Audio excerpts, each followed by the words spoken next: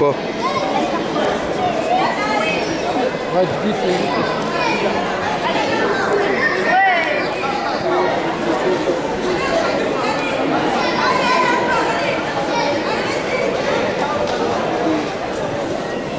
Puis mon adversaire commence à devenir nul. Je sais pas du tout.